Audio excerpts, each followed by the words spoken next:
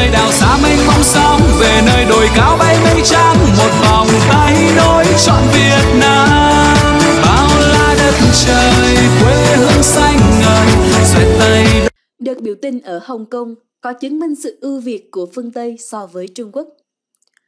Giới dân chủ Việt Nam nghĩ gì về đợt biểu tình phản đối dự luật dẫn độ hiện đang diễn ra ở Hồng Kông?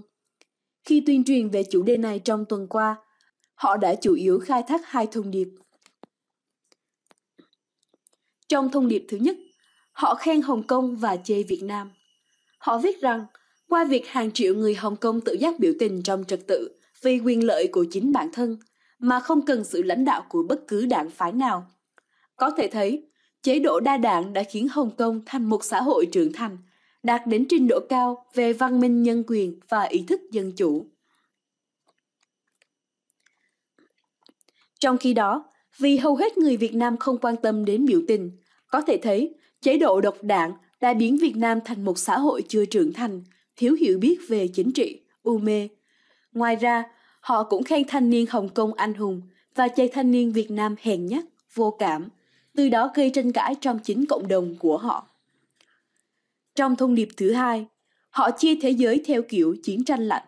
Trong đó, hai chính phủ Việt Nam và Trung Quốc ở cùng phe độc tài, con người biểu tình Hồng Kông và các nhóm chống đối Việt Nam ở cùng phe thế giới tự do.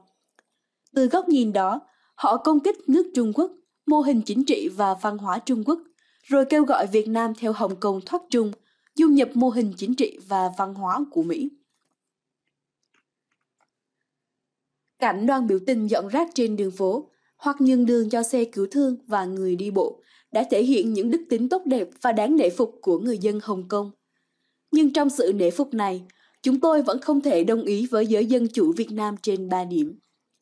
Thứ nhất, cần thận trọng khi nhận xét rằng xã hội này tiến hóa hơn xã hội kia.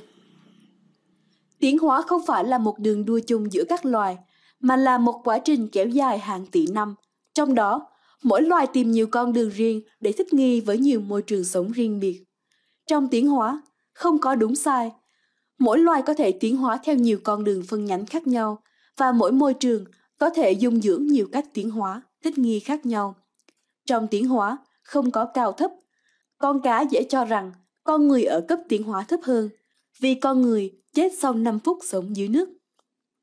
Vì vậy, thay vì coi con người như sinh vật ở cấp tiến hóa cao nhất, khoa học hiện đại chỉ coi con người như sinh vật tiến xa nhất về ngôn ngữ và khả năng tư duy. Quan điểm rằng, trình độ tiến hóa của một xã hội tỷ lệ thuận với số cuộc biểu tình hoặc với khả năng tự tuân thủ kỷ luật của người dân là một quan điểm phản khoa học. So với nhiều xã hội phương Tây và Đông Á, người Việt Nam rõ ràng kém hơn về nền tảng học thuật, thái độ chuyên nghiệp và khả năng tuân thủ kỷ luật trong thời bình.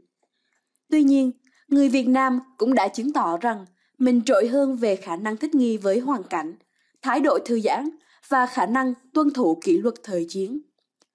Những ưu, nhược điểm này không xuất phát từ chế độ độc đảng, mà là cách thích nghi với một vùng lịch sử và địa lý luôn bất ổn về mặt khí hậu, nhân khẩu, văn hóa, chính trị, ban giao, vân vân. Chúng ta nên chấp nhận và tìm hiểu cặn kẽ về quá khứ của mình để tìm cách phát triển bền vững trong hiện tại và tương lai, thay vì đổ hết lỗi cho chế độ và chối bỏ quá khứ.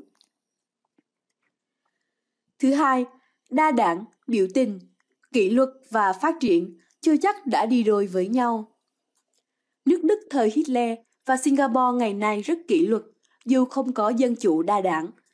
Dù phong trào biểu tình mùa xuân Ả Rập từng có những biểu hiện kỷ luật, ôn hòa, giống hệt phong trào ở Hồng Kông hiện tại. Nó xuất phát từ những nước độc đảng và đã từng làm sụp đổ xã hội của Libya, Syria. Thứ ba là một nạn nhân của tình trạng xung đột và cô lập thời chiến tranh lạnh. Người Việt Nam không nên quá lưu luyến với cách nghĩ của giai đoạn này. Việt Nam nên thương giao với mọi quốc gia với tư cách là một nước độc lập và yêu chuộng hòa bình, thay vì liên minh với nước này để chống nước khác.